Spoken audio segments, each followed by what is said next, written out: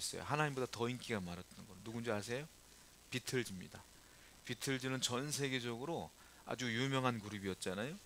어, 그런데 이 비틀즈가 처음 앨범을 낼 때에 레코드사를 찾아갔어요. 그 레코드사가 데카 레코드였는데요. 근데 이 데카 레코드 사장이 비틀즈의 음악을 들어봐요. 들어보고 결론을 뭐라고 내냐면 야 니들 음반 못 내주겠다 이렇게. 왜냐면 노래를 너무 못 불렀대요. 못 부르고 노래 자체가 대중적이지가 않은 거야. 이 사람 입장에서 볼 때는. 그래서 거부했다는 거예요. 그래서 결국은 비틀즈는 다른 곳에서 앨범을 내게 됐죠. 그 후에 어떻게 됐죠? 비틀즈는 전 세계적으로 난리가 난 상태고 데카 레코드는 망했대요. 만약에 여러분들이 데카 레코드 사장이었더라면 비틀즈를 받아줬겠어요? 안 받아줬겠어요? 받아줘야죠. 받아주면 금방 성공할 거 아닙니까? 그런데 이걸 몰랐던 거야. 왜 그럴까요? 사람은 한치 앞을 모르거든. 내가 돈 벌 일이 있으면 돈 벌지. 근데 모르니까 못 보는 거지. 내가 그 사람을 선택하면 성공할 줄 알면 내가 선, 선택을 했겠지. 근데 성공할 줄 몰랐기 때문에 선택을 안 한 거겠죠. 사람은요, 알려고 해도 몰라요. 주식하는 분들도 주식 전문가라는 분들도 있어요. 주식 전문가는 다 투자에 성공합니까? 투자에 성공하면 다 재벌됐게? 그렇지 않아요. 아무리 전문가고 아무리 공부를 많이 해도요 주가 동향을 대충은 어느 정도는 볼 수 있지만 정확하게 볼 수는 없어요. 다 알면 다 부자가 되죠. 알려고 하지만 다 알 수 없는 게 인생 아니겠습니까? 사람들이 점쟁이를 찾아가요. 내 인생을 좀 알려달라고. 사람들의 심리에는 어떤 게 있냐면 내 미래를 알고자 하는 심리가 있고 내 미래를 내가 컨트롤하고자 하는 심리가 다 있어요. 그래서 좋은 쪽으로 내가 컨트롤하고 싶은 거야. 그 점쟁이들에게 복비를 엄청 주면서까지도 점을 받으려고 하는 이유가 뭐냐면 그런 심리 때문에 그래요. 그걸 이용하는 게 점쟁이들이죠. 여러분 우리가 알잖아요. 점쟁이가 말한다고 다 됩니까? 안 돼요. 점쟁이가 어떻게 알아요? 몰라. 모르는데도 찾아가. 모르는데도 뭐 돌이 이상한 절이 있으면 거기 찾아가 절해. 다 모르는데. 여러분 인생은 알 수가 없어요. 오늘 본문 민수기 23장과 24장 두 장을 보면 대조적인 두 부류의 사람이 나오는데 한 부류는 뭐냐면 내 인생을 내가 노력해서 내가 최선을 다해서 안정적으로 보호하며 내 인생을 이끌고 나가려 하는 사람이 등장을 해요. 그리고 또 한편은 아무것도 안 해. 아무것도 안 하는데 인생이 술술 풀리는 경우가 있어. 이 두 가지를 대조해서 오늘 23장과 24장에 나와 있는데요. 자, 먼저 보자면 23장에는 누가 나오냐? 발락이라는 사람이 나와요. 자, 여러분 제가 민수기 강의하다가 12월 달에는 성탄절 때문에 거의 강의를 못했어요. 근데 11월 달에 설교했던 내용들을 기억해 보시면 발락이 누구냐면 모압의 왕이에요. 그리고 발람이 나오죠. 발람은 누구냐면 전 세계적으로 유명했던 점쟁이. 제가 설명해 드렸던 것 같아요. 그 발락과 발람이 또 등장을 하는 거예요.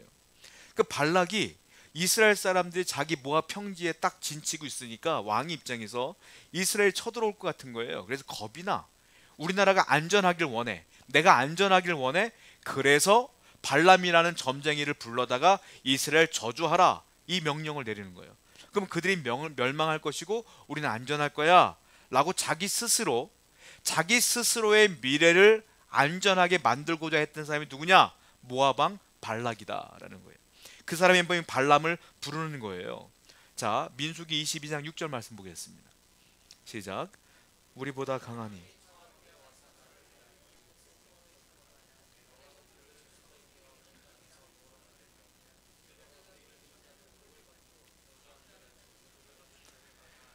모아방 발락이 발람에게 말하는 거예요. 네가 저주하면 저주받을 거고 네가 축복하면 축복받을 거야. 제가 설명드렸어요. 하나님이 축복하는 거지 이 발람이 축복하는 거 아니잖아요. 그러니까 사람들이 뭔 착각을 하고 있는 거야. 용한 점장이가 나를 저주, 어, 축복하는 줄 알아. 그렇지 않아요. 이 발락이 그런 거예요. 네가 이스라엘을 저주하면 망할 거야라고 해서 이 발람을 초청하는데 발람이 살던 곳이 어디냐면 동쪽에 있는 부올이라는 곳에 살아요. 그래서 자기가 갈 수는 없으니까 왕이 갈 수 없으니까 귀족과 신하들을 보내요. 몇 번을 보내냐면 두 번을 보내요. 두 번을. 한 번은 거절했고 두 번째 그가 와요. 왜 거절했죠? 우리가 알다시피 뇌물을 보고 가려고 했더니 하나님 못 가게 했잖아. 그래서 하, 발람이 못 가요. 그래서 두 번을 찾아가게 되는데 자 이렇게 자기 스스로 자기를 보호하려고 하는 케이스 자기 스스로 내 미래를 보장하려고 하는 케이스. 이런 케이스는 문제점이 있어요.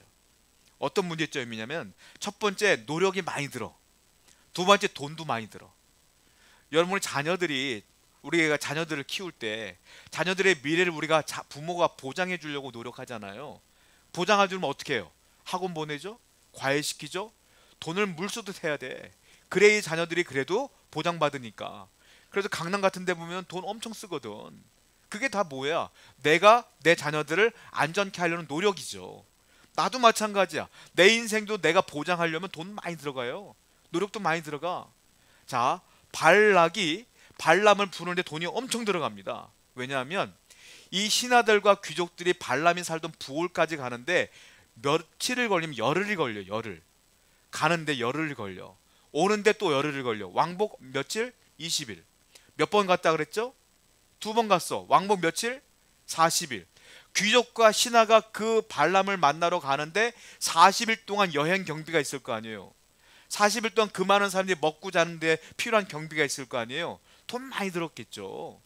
그럼에도 불구하고 발람을 초청하여 이스라엘 저주케 하기를 원하는 거야. 돈 많이 들어가요. 그리고 또 어떻게 돈이 들어가느냐면 민수기 22장 40절 볼게요. 시작. 발락이 발락이 그 사람들을 보냈는데 그냥 가요? 발람에게 먹여 먹여야 될거 아니에요. 소도 잡고 뭐 해야 될 거 아니에요. 그러니까 그 음식 값이 얼마나 들겠어 또. 그러니까 이게 돈이 보통 드는 게 아니야. 그런데요. 자 보세요. 이번에는 발람을 두 번째 데리고 왔어요. 어떻게든 데리고 왔어. 자 저주하라고 산에 재단을 쌓아놓고 저주를 시키는데 발람이 저주하려고 하는데 하나님이 입술을 확 받거나 그 어떻게 나면 이스라엘에게 저주가 나가는 게 축복이 나가. 그러니까 발락이 화가 났어. 너 왜 축복 축복하고 앉아 있냐? 야 터가 안 좋은가? 다른 데 가자. 또 제사를 지냈어요. 또 발람이 저주하려고 했더니 또 축복이 나가. 하나님 자꾸 바꿔. 발락이 또 화가 나서 터가 안 좋은가? 다른 데가 또 제사를 쌓아. 몇 번을 옮기냐면 세 번을 옮겨요. 자, 세 번을 옮겨 볼게요. 성경을. 민수기 23장 7절입니다. 시작.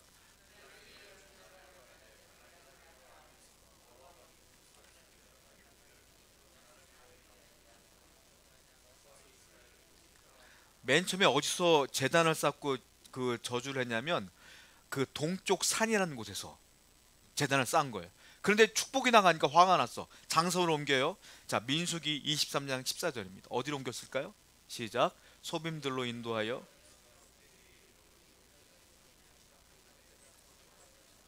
어디로 갔어요? 비스가 산으로 또 올라갔어.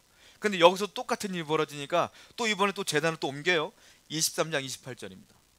시작. 이번에 부월산 꼭대기까지 간 거 세 번을 옮겼어요. 근데 세 번 다 재단을 쌓았단 말이에요. 세 번의 재단을 쌓았는데 재산을 지낼 때 재물이 얼마나 들어갔냐면 수 염소 아 수 그 송아지 일곱 마리 그리고 수양 일곱 마리가 들어가요. 총 열네 마리가 들어가. 여러분 수송아지 작은 송아지가 얼마예요? 요즘 제가 얼마 전에 확인해 본 바에 의하면 제가 이것 때문에 좀 확인해 봤는데 작은 송아지가 한 300만 원을 넘어가선대요. 300만 원 정도를. 근데 여기는 작은 송아지가 아니야. 큰 송아지를 잡아야 돼. 몇 마리? 일곱 마리. 돈이 얼마야 그게? 그 수양이 얼마요? 이거 한번 제사 지낼 때마다 14마리를 잡는데 그 돈이 얼마냐고. 몇 번 들었다고 해서 제사를? 세 번 들었어. 재물이 몇 마리야? 42마리야. 총. 이게 도대체 얼마야? 발람 데리고 와서도 그 돈 들었죠? 이게 재물 바치는데도 돈 엄청 들었어. 자기의 안전을 위해서 돈을 그렇게 쓰는 거야 지금.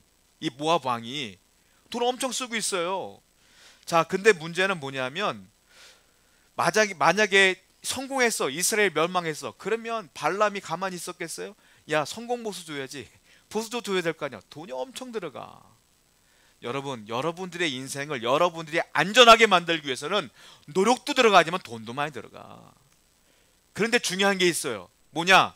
그런데 그러면 완벽하게 안전해지느냐? 그게 아니라는 게 문제야. 내가 이렇게 돈을 쓰고 내가 노력을 했을 때 내 인생이 내 미래가 내 자녀들의 인생이 안전하냐? 그렇지가 않아요. 볼까요? 자, 두 번째는 뭐냐면 민수기 23장 3절 말씀이에요. 읽어 보겠습니다. 시작. 발람이 발락에게 이르되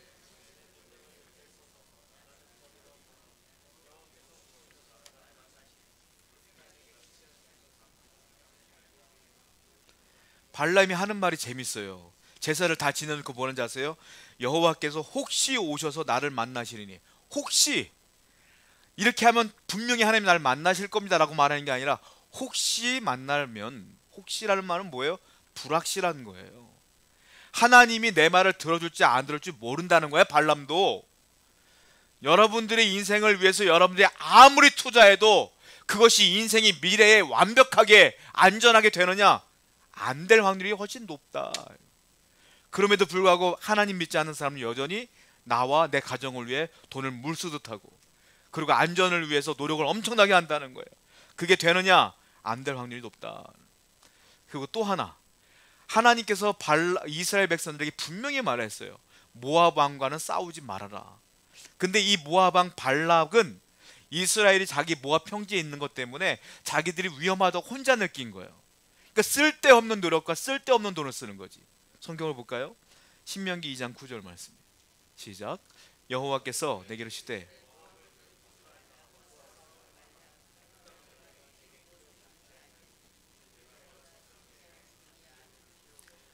모압과 암몬은 롯의 후손이에요. 그러니까 하나님이 아브라함의 조카 롯 아닙니까? 그러니까 가족끼리니까 싸우지 마 하고 이스라엘은 모압 왕을 차지할 생각도 없었어. 모압 땅을. 싸울 생각도 없었는데 혼자 난리친 거예요, 혼자. 여러분들의 인생과 여러분들의 미래는 여러분들이 불안해하고 염려한다 할지라도 여러분들이 염려한 대로 된다는 보장이 없어요. 아직 일어나지 않았잖아. 그래서 사람들은 불안하니까 지금 준비한다고. 하나님이 여러분들의 미래를 책임지는 거지. 여러분들이 걱정하는 그 걱정대로 다 되는 게 아니에요. 그러니까 우리는 어떻게 해야 돼? 하나님을 의지하며 한 걸음 한 걸음 내딛는 거 나가는 것 뿐이지.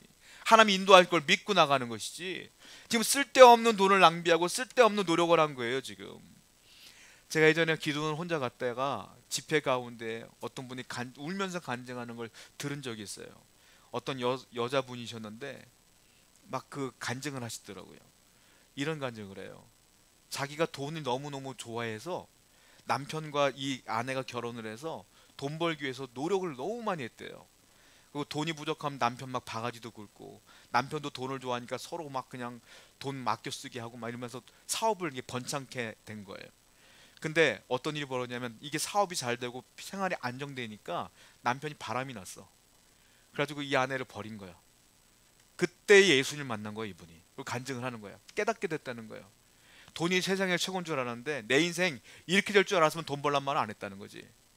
근데 예수님 만나고 보니까 그게 중요한 게 아니고 예수님이 얼마나 중요한지 알았다는 거예요 그러니까 사람들이 아, 믿음이 없는 사람들은 눈에 보이는 것 때문에 그거 찾으려고 노력하다가 보면 잃는 게 더 많아 사실은. 근데 그걸 모르고 이거 하나 가지려고 노력을 한다는 거예요 여러분들이 하나님을 버리고 내 앞에 있는 것을 찾아 헤매면 다 잃어버리는 거예요. 그거 갖는다고 해서 여러분들의 인생이 안전해진다는 보장도 없거든요. 자, 지금 모아방 발락은 자기가 노력해서 인생의 미래를 한번 쟁취해 보려고 했으나 되지 않았어요. 반대가 나와. 누구냐면 이스라엘 백성들이야. 이 사람들은 자기의 미래를 위해서 어떠한 일도 하지 않아요. 하나 했어.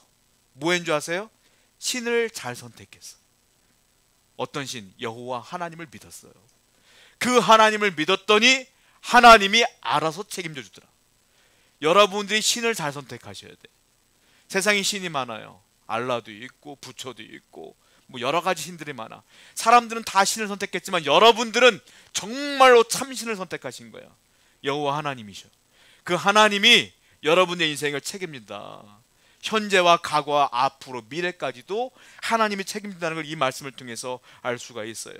자, 이스라엘 백성들은요. 자기 미래를 위해서 뭘 했어요? 이 발락처럼 정말 비용을 지, 지불했나요? 아니요, 안 했어요. 아무것도 안 했어요. 그 발람이라는 그 점쟁이를 고용하려고 노력했나요? 그것도 안 했어요. 재물을 드렸나요? 그것도 안 했어. 아무것도 안 했어. 복 받기 위해서 뭘 했어? 아무것도 안 했어. 농사를 지었나요? 하나님이 만나를 줬어. 그냥. 뭐 물을 위해서 땅을 팠나요? 반석에서 하나님 물을 줬어. 그냥. 전쟁 준비를 했나요? 하나님이 이기게 해주셨어. 아침에 일어나니까 질병으로 다 죽어 적들이. 하나님이 다 인도해 주셨단 말이에요. 자, 하나님께서요. 이스라엘 백성들을 축복하는데 조건을 주었을까요? 조건이 없어요. 보실까요? 창세기 12장 2절입니다. 시작.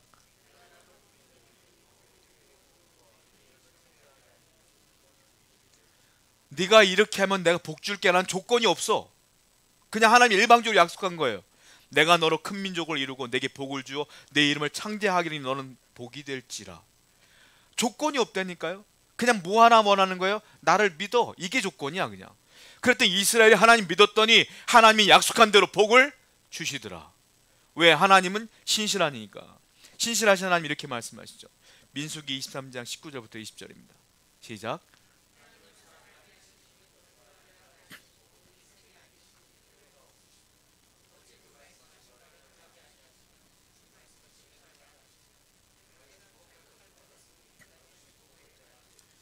하신 말씀을 실행하지 않으시리야. 하나님 복 준다고 했으니까 복 준다. 믿는 자에게 복 준다. 여러분들도 복 받을까요? 못 받을까요? 받아요. 믿으시기 바랍니다. 여러분의 인생 하나님 책임진다고 약속했으니까 분명히 책임진다는 거예요. 근데 이 복이 현재에만 국한된 게 아니야. 과거에도 주셨고 현재에도 주고 있고 앞으로도 준다는 거예요, 하나님께서. 자, 과거에 이스라엘 백성들이 어떤 복을 받았을까요? 민수기 23장 10절입니다. 읽어봅니다. 시작.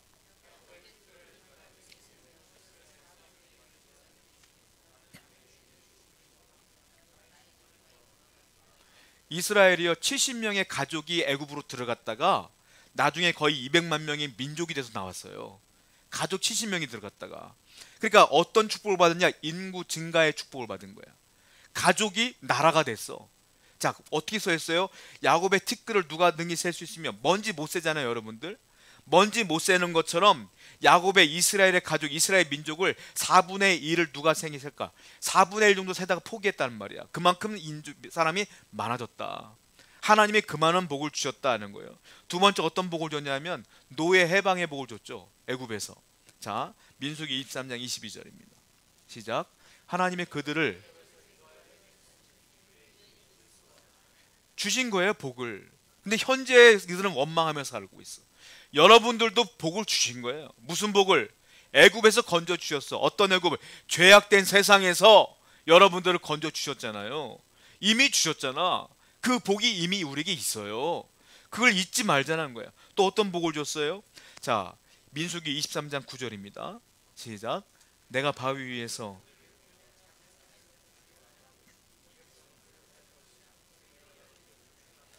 이스라엘을 민족 중에 여러 민족 중에 하나로 여기지 않겠다. 이게 무슨 말이냐면 내가 너희들 특별히 선택했다 이 말이에요. 여러 민족 중에 하나가 아니라 특별히 나의 백성으로 선택했다. 하나님께서 우리에게 똑같은 복을 주신 거예요. 하나님의 백성으로 삼으신 것. 그것이 이미 주신 복 아니냐는 거죠. 또 복을 주셨어요. 능력 있는 백성이 되겠다는 하나님이 주셨어요, 복을. 민수기 24장 9절입니다. 시작. 꿇어 앉고 누움이 술사자 같고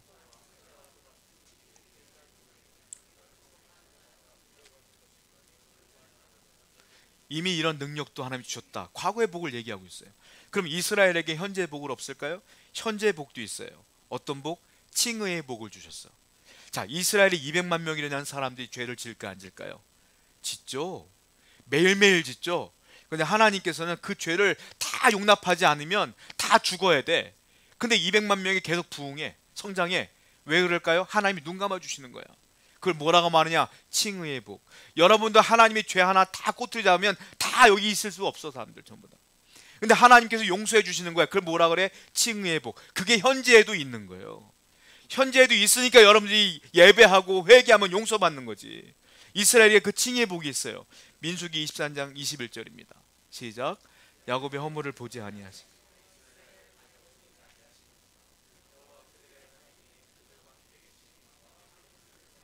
하나님은 야곱의 허물을 보지 않는데요. 하나님은 여러분들의 허물을 보지 않아요. 여러분들의 허물을 자꾸 보게 하는 건 마귀야.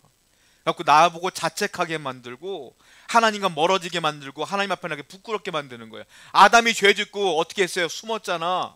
그게 뭐야? 죄의식 때문에 그래. 우리는 성도는 죄의식을 가지면 안 돼. 죄를 지으면 회개하면 죄의식이 없어지는데 회개를 안 하니까 죄의식이 있는 거지. 회개하면 용서해 주셔요 하나님께서. 그러니까 가능하면 성결하게 하시되 실수하여 죄를 죄를 지면 회개하시라고. 왜? 칭의의 복이 지금도 있어요. 자, 지금은 어떤 복을 주실까요? 임재 하나님의 임재의 복이 있어. 지금 나와 함께 하신다. 민수기 23장 21절입니다. 읽어 볼게요. 시작.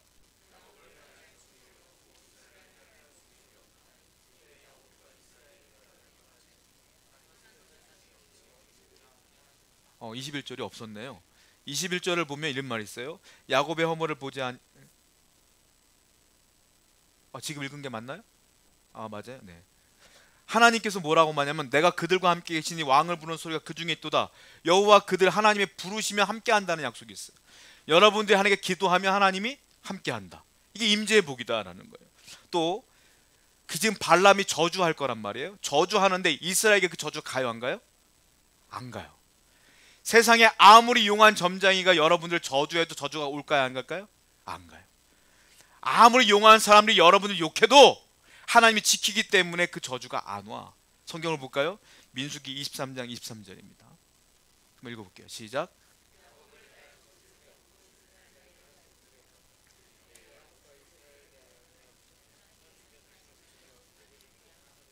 야곱을 행할 점술이 없고 이스라엘을 행할 복술이 없다. 점 아무리 쳐봤자 하나님 백성들한테는 그 해가 안 온다는 거예요. 왜? 하나님이 보호하시니까. 그럼 미래에도 복을 주실까요? 안 줄까요? 미래에도 복을 주신다는 거야. 어떤 복? 이 나라가 이스라엘 백성들이 끊임없이 번영하며 번창하며 발전한다는 약속을 해주셨어요. 민수기 24장 7절입니다. 시작. 그 물통에서는 물이 넘치겠고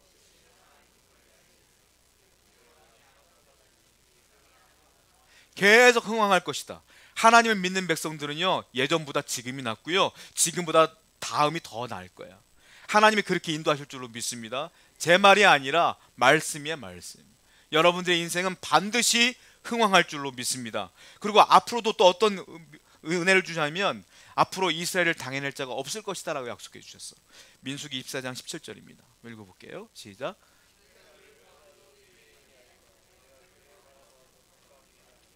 한 별이 야곱에서 나오며 한 규가 이스라엘에서 일어나서 모압을 이쪽에서 저까지 켜서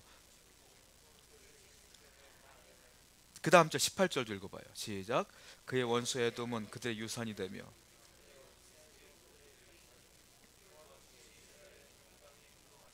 다 이긴다는 거야. 그러니까 하나님께서는 이스라엘을 이스라엘이 딱 하나 잘했다 그랬잖아요. 하나님을 믿은 것. 그 믿었더니 과거에도 은혜를 주었고 현재에도 복을 주시고 앞으로도 미래에도 복을 주시겠다 이거예요. 여러분들의 미래를 여러분들의 안전을 보장하는 최, 최고의 방법은 하나님 끝까지 믿는 거예요. 그러니까 하나님 약속한 대로 그렇게 하시겠다는 거예요. 그렇다면 이런 모든 복을 하나님이 어떻게 주시겠느냐? 하나의 방법을 주셔요. 어떤 방법? 하나의 방법. 바로 예수 그리스도를 통하여 주겠다. 이 약속이 성경에 써 있어요. 이 복을 받는 유일한 통로는 예수 그리스도뿐이 없어요. 자, 민수기 23장에서 24장을 보면 23장 21절 보겠습니다. 시작. 야곱의 허물을 보지 아니하시며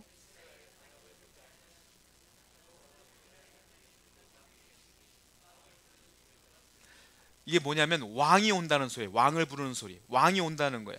왕이 오는데 그 왕을 통하여 이 복을 주겠다 이 말이에요. 이걸 예표하고 있는 거예요. 또 24장 7절 말씀 볼게요. 시작. 그 물통에는 물이 넘치겠고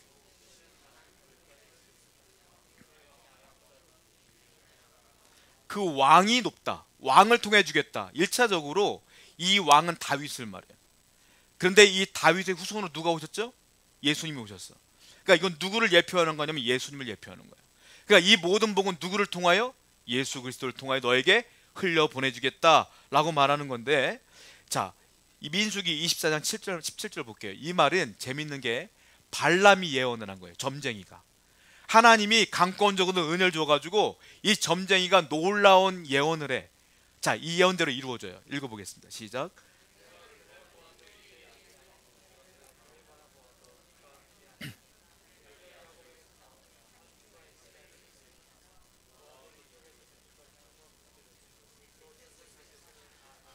자, 한 별이 나온다고 했죠. 한 규가 나온다고 그랬죠. 이거 예수님을 예표하는 거거든요. 이게 누가 얘기한 거라고요? 발람이 말한 거야. 동쪽의 부월산에 살고 있는 발람이 점쟁이가 하나님께서 예언케 하셔서 예언을 한 거야. 근데 이게 이루어져요.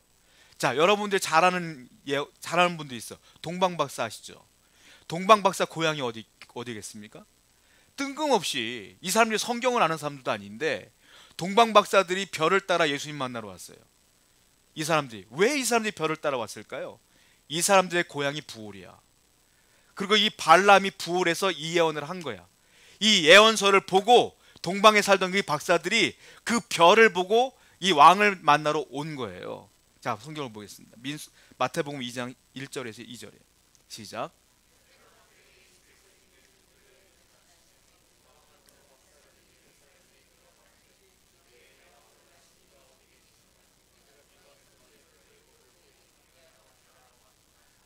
발람이 그렇게 예언한 그걸 보고 별을 따라 온 거예요, 동방에서. 그래서 하나님의 말씀이 이루어지고 정말로 그 말씀이 예수님의 탄생으로 이루어진 것들을 보게 됐어요. 자, 요한계시록 22장 16절 한번 읽어 볼게요.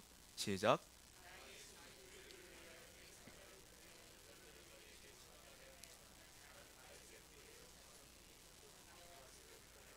예수님은 별이라. 그래고 성경을 보면 구약에는 별, 왕, 신약에도 별, 왕, 그리고 결국은 우리가 알고 있는 예수 그리스도를 통하여 이 복을 주겠다.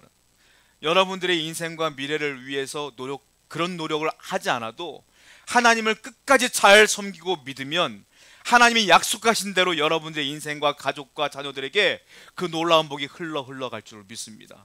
오늘도 그러므로 내 믿음을 더 견고히 하시고 하나님 바라보시는 여러분들을 축복합니다. 함께 기도하도록 하겠습니다.